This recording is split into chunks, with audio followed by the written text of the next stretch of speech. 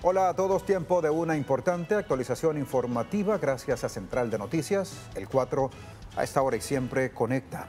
Las bandas criminales del vecino país de Haití pues siguen acumulando poder y recibiendo un apoyo significativo de grupos empresariales y dirigentes políticos.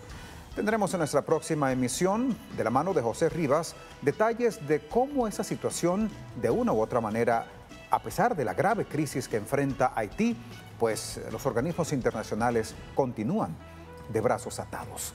6 de la tarde, 9 de la noche, en nuestras próximas emisiones en Central de Noticias ampliamos esta y otras eh, informaciones. Por lo pronto les invitamos a que continúe con nosotros disfrutando de la programación de RTVD, tu televisión pública. El 4 siempre conectas. Entonces.